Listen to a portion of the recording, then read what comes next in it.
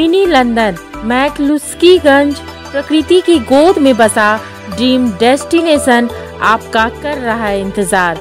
आइए अपने यादगार लम्हों को बिताइए ड्रीम डेस्टिनेशन में। राजधानी रांची से महज 50 किलोमीटर दूर आपका अपना ड्रीम डेस्टिनेशन। साहिबगंज ज़िले में एक बार फिर से प्रवर्तन निदेशालय के अधिकारियों और सीआरपीएफ के जवान के द्वारा खनन पदाधिकारी साहिबगंज और वन प्रमंडल पदाधिकारी साहिबगंज के कार्यालय में अवैध खनन और वन क्षेत्र में अवैध रूप से संचालित किया जा रहे क्रशर और माइनिंग से संबंधित कागजात का जाँच और अन्य बिंदु पर जिला खनन पदाधिकारी विभूति कुमार और वन प्रमंडल पदाधिकारी मनीष तिवारी से पूछताछ करने पहुँची है।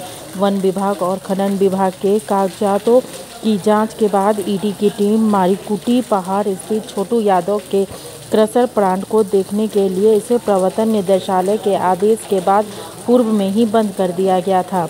ईडी ने पूर्व में जिला प्रशासन को पत्र लिखकर दो पदाधिकारी को देने की मांग किया था, जिसके आलोक में साहिबगंज सदर के अंचल अधिकारी अब्दुल समद और राजमहल के निबंधन मनोज कुमार को ईडी की टीम ने सहायता के लिए दिया गया है।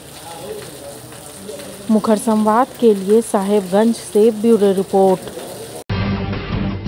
जब टूटती है आस जब थकती है सांस, जब रूठते हैं अपने, मुँह मोड़ता है जमाना।